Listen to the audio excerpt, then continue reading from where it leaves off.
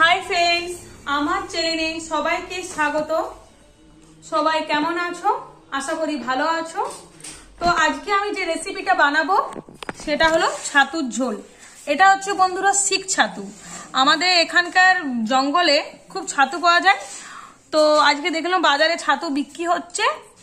তো এখানে আমি ছাতু নিয়েছি, তিনশো টাকা করে ছাতুর কিলো বন্ধুরা।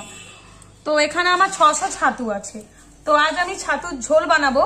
তো দেখুন বন্ধুরা, কীভাবে আমি ছাতুটা কেটে নিচ্ছি। প্রথমে আমি বন্ধুরা এভাবে ছাড়িয়ে নেব। জলে দিয়ে দিতে হবে। এরপরে যে এই ডাটাগুলো আছে, এভাবে কেটে নেব বন্ধুরা। বন্ধুরা দেখুন কি সুন্দর কলি ছাতু। সবচেয়ে ভালো এই ছাতুগুলো খেতে লাগে, কারণ এরকম ছাতুতে কিছু কিছুতে পোকা হয়ে থাকে। তার জন্য এই ছাতুগুলো খুব ভালো।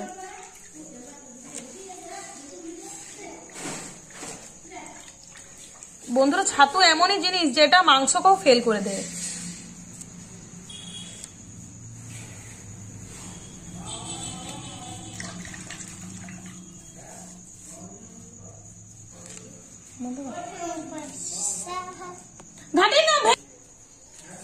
তো আমি এভাবে সব কেটে নিচ্ছি, বন্ধুরা।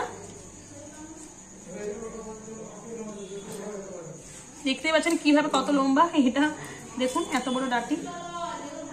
তো এর মধ্যে এই যে বন্ধুরা মাটি লেগে আছে, দেখুন।